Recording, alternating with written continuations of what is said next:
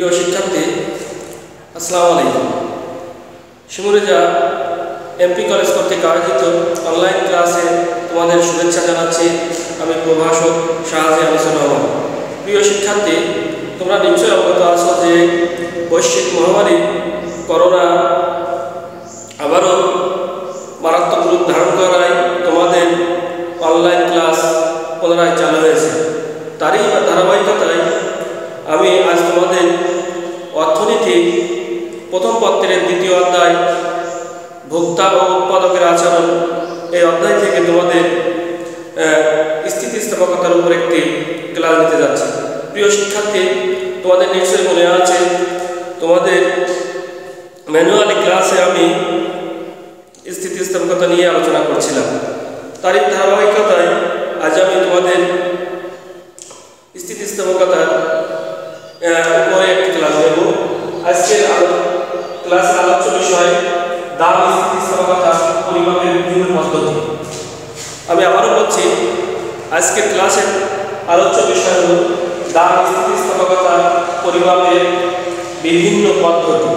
তো প্রিয় শিক্ষার্থী, আমরা জানি যে স্থিতিস্থাপকতা কাকে বলেন, সে বিষয়ে আমরা আগে থেকে ধারণা পেয়েছি। প্রিয় শিক্ষার্থী স্থিতিস্থাপকতা হলো, আমি আবারও তোমাদের স্মরণ করিয়ে দিই দামের আপেক্ষিক বা শতাংশিক পরিবর্তনে, চাহিদার যে আপেক্ষিক বা শতাংশিক পরিবর্তন হয়, তাকে বলে চাহিদার স্থিতিস্থাপকতা তো স্থিতিস্থাপকতার প্রকার ভেদে আমরা দেখছিলাম যে চাহিদার স্থিতিস্থাপকতা তিন প্রকার ছিল। এক, চাহিদার দামি স্থিতিস্থাপকতা দুই, চাহিদার আয় স্থিতিস্থাপকতা তিন, চাহিদার আড়াআড়ি স্থিতিস্থাপকতা তো আমরা এই সমস্ত বিষয়গুলো আমরা ম্যানুয়াল ক্লাসে সমাধান করেছি। তো আজ আমাদের এই চাহিদার স্থিতিস্থাপকতার উপর সর্বশেষ ক্লাসটি বাকি ছিল সেটি আজ আমরা অনলাইন ক্লাসের মাধ্যমে পরিসমাপ্তি করব। প্রিয় শিক্ষার্থী আজকের ক্লাসের আলোচনা ছিল দাম স্থিতিস্থাপকতা পরিমাপের বিভিন্ন পদ্ধতি। তো আমরা আমাদের একটু জেনে রাখা ভালো যে দাম স্থিতিস্থাপকতা পরিমাপ করতে গেলে আমরা কয়েকটি পদ্ধতির সাহায্য নিতে পারি।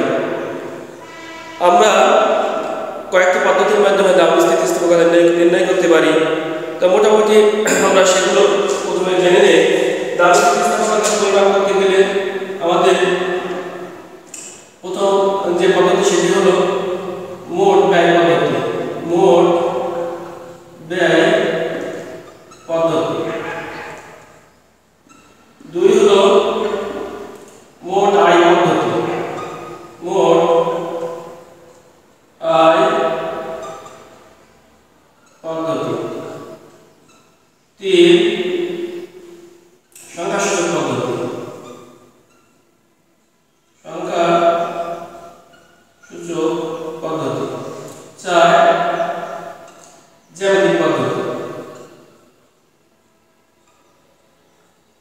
জ্যামিতিক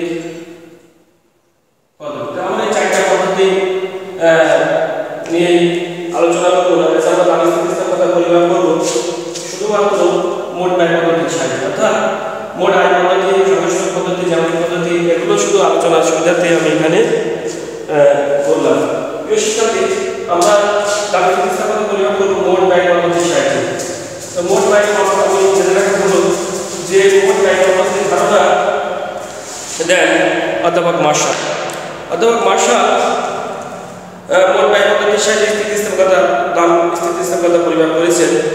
অর্থাৎ কোনো দ্রব্যের দাম, দামের পরিবর্তনের ফলে মোট ব্যয়ের পরিবর্তন দ্বারাই অর্থাৎ মোট ব্যয়ের সাহায্যে স্থিতিস্থাপকতা তিনি পরিমাপ করেছেন তো আমরা জানি যে মোট ব্যয় পদ্ধতিতে স্থিতিস্থাপকতা যদি পরিমাপ করা হয়, তাহলে পাঁচ ধরনের স্থিতিস্থাপকতা পাওয়া যায়। আমি সেগুলো বলে জানিয়ে দেয় তা পাঁচ ধরনের স্থিতিস্থাপকতার ভিতরে প্রথম হলো এক চাহিদা একক স্থিতিস্থাপকতা চাহিদা একক স্থিতিস্থাপকতা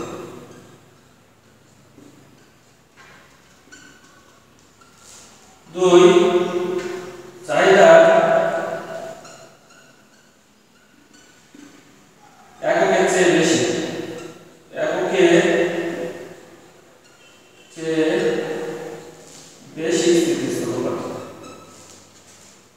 তিন চাহিদা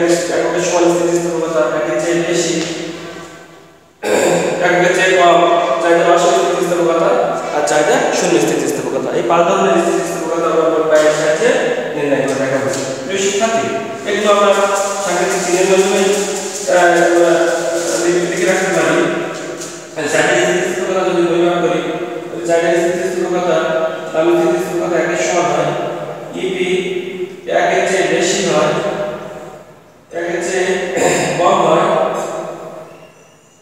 স্থিতিস্থাপকতা অসীম আর দামি স্থিতিস্থাপকতা শূন্য সমান। অর্থাৎ ইলাস্টিসিটি অফ তো আজ আমরা প্রথমে মোট ব্যয় পদ্ধতির সাহায্যে স্থিতিস্থাপকতা পরিমাপ করতে যাচ্ছি।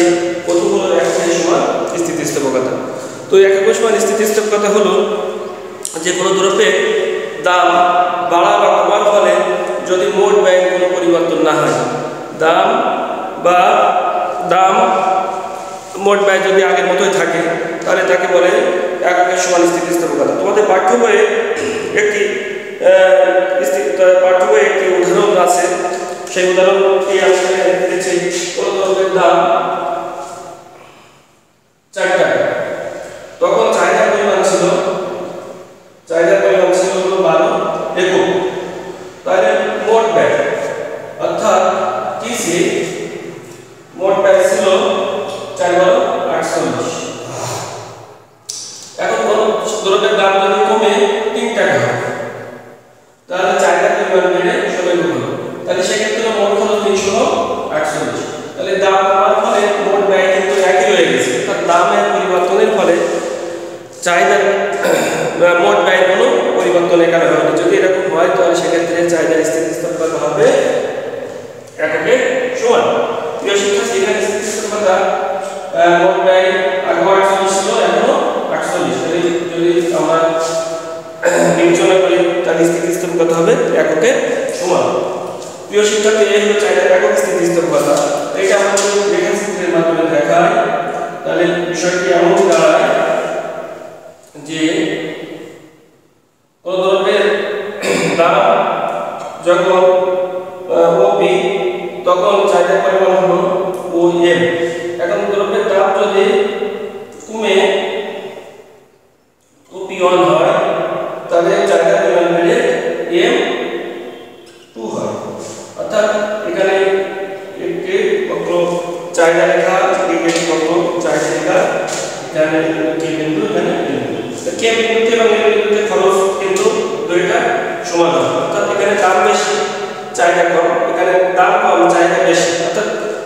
যদি গণনা করি বা হিসাব করি, সেক্ষেত্রে দেখা যাবে যে মোট ব্যয়ের কোনোরূপ পরিবর্তন হয়নি। প্রিয় শিক্ষার্থী, এ হলো চাহিদার একক স্থিতিস্থাপকতা। এখন চাহিদা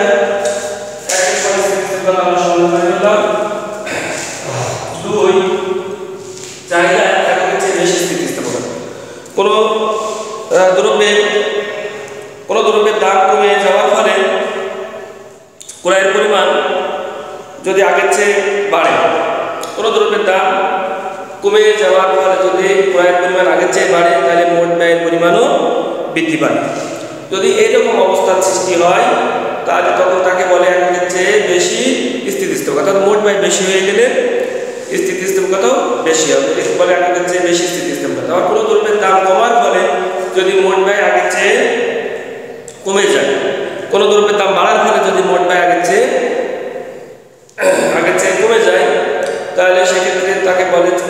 Akdeniz'e 5 ekspedisi de bulur. Abi yanına şartları bir şartı adam পরিষ্কার হবে অর্থাৎ আমরা এখানে বিষয়টি দেখি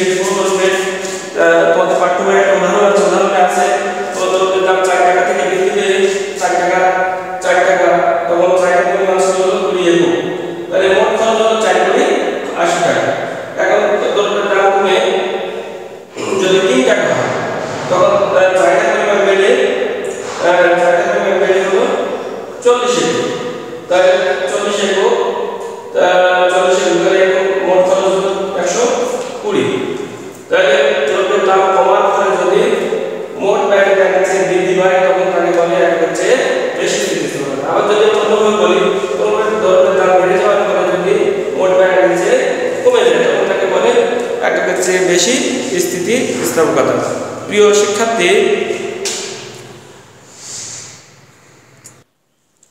প্রিয় শিক্ষার্থী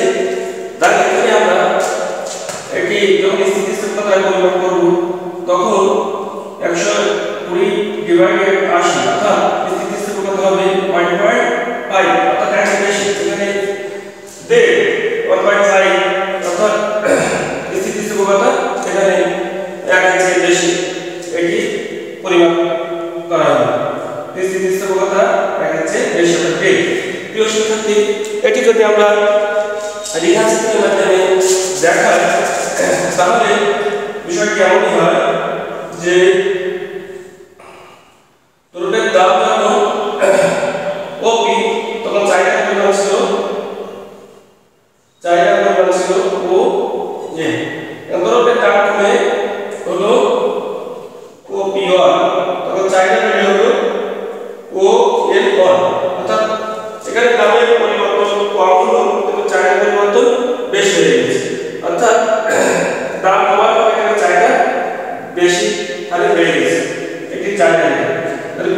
এখানে আমরা দেখলাম যে স্থিতিস্থাপক কথা হচ্ছে বেশি। অর্থাৎ গ্রামের পরিবর্তন হচ্ছে চাহিদার পরিবর্তন অনেক বেশি হয়ে গেছে। প্রিয় শিক্ষার্থী, তো এই হলো একাকের চেয়ে বেশি আমরা তিন নম্বর যে বিষয়টি খেয়াল করার বিষয়টি হলো স্থিতিস্থাপকতা হলো একটা চেয়ে কম। অর্থাৎ কোনো দ্রব্যের দাম, কোনো দ্রব্যের দাম কমার ফলে যদি মোট ব্যয় আগের চেয়ে কমে। আমি আবার বলি কোনো দ্রব্যে দাম কমার ফলে যদি মোট ব্যয় আগের চেয়ে কমে, আবার কোনো দ্রব্যের দাম বাড়ার ফলে যদি মোট ব্যয় আগের চেয়ে বাড়ে, তাহলে তাকে বলে এককের চেয়ে বেশি কোনো দ্রব্যের দাম ষাট টাকা, তখন অর্থাৎ মোট আশি টাকা।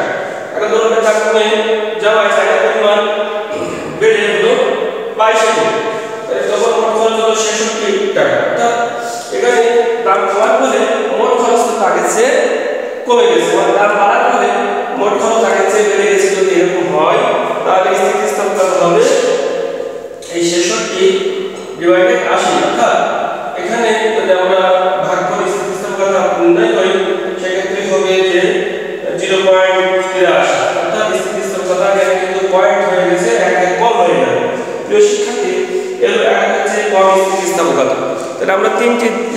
কথা পেয়ে গেলাম যে কোনো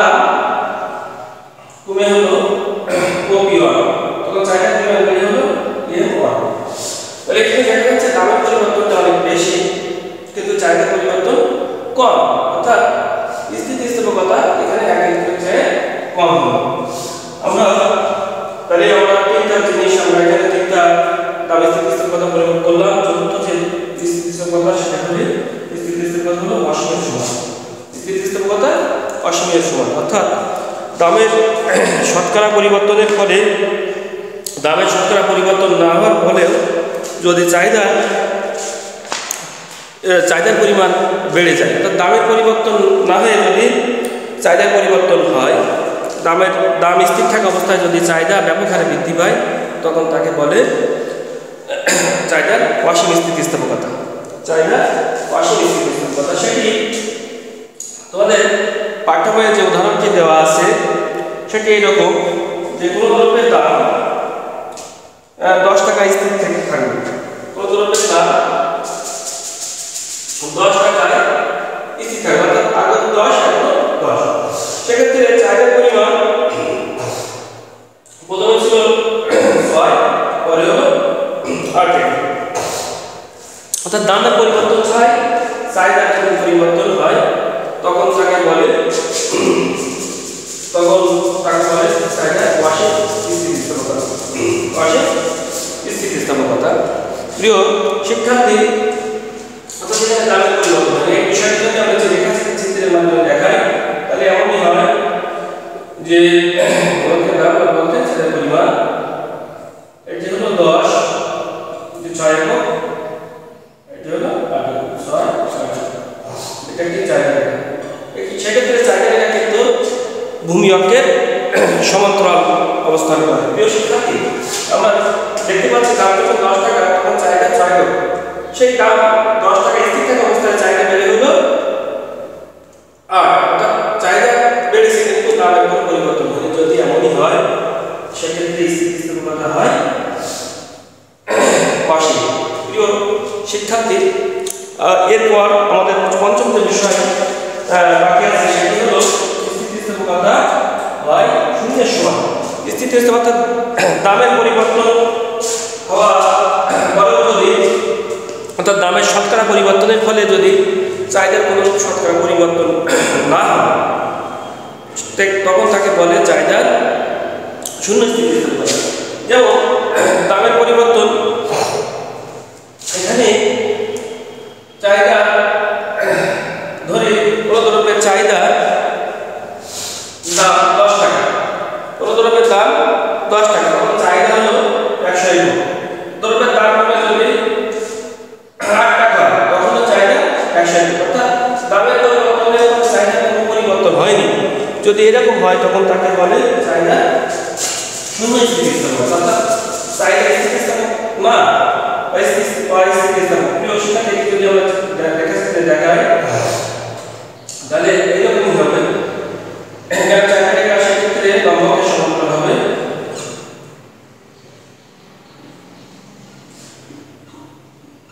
প্রিয় শিক্ষার্থী চিত্রে আমরা দেখতে পাচ্ছি দ্রব্যের দাম যখন দশ টাকা তখন চাহিদার পরিমাণ একশো গুণ আবার দাম কমে যখন আট টাকা তখনও চাহিদার পরিমাণ একশো গুণ তখনও চাহিদার পরিমাণ একশো গুণ তাহলে দাম এখানে কমেছে।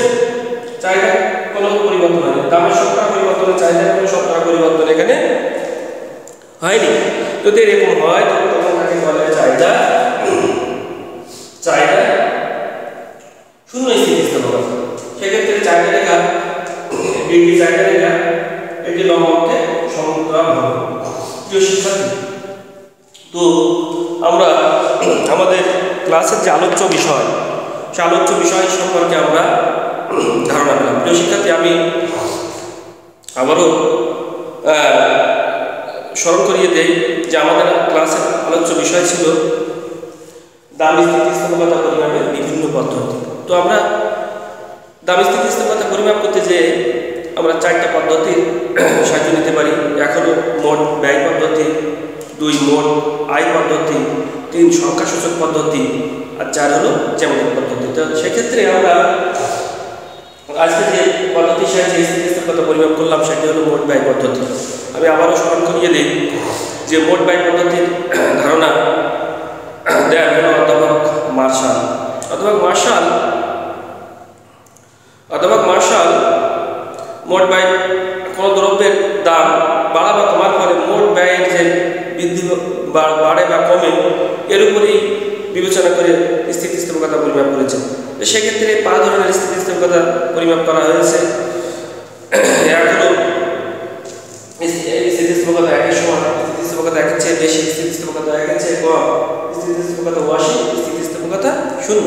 অর্থাৎ দাম স্থিতিস্থাপকতা পাঁচ ধরনের হয় এটি আমরা আমাদের ক্লাসে আহ, আহ, আমরা আজ জানলাম সে বিষয়টি তোমাদের পাঠ্য হয়ে গাণিতিক উদাহরণ দিয়েই বা চিত্রের মাধ্যমে আমরা কিন্তু সমাধান করতে, সমাধান করেছি। প্রিয় শিক্ষার্থী, তো আজকের ক্লাসের আলোচ্য বিষয় এখানে শেষ হয়ে গেল। প্রিয় শিক্ষার্থী তোমরা অনলাইন ক্লাসগুলো ধারাবা- ধারাবাহিকভাবে দেখবে। এই এর প্রত্যাশায় আমি আজকের ক্লাস এখানেই শেষ করছি। Guten Abend.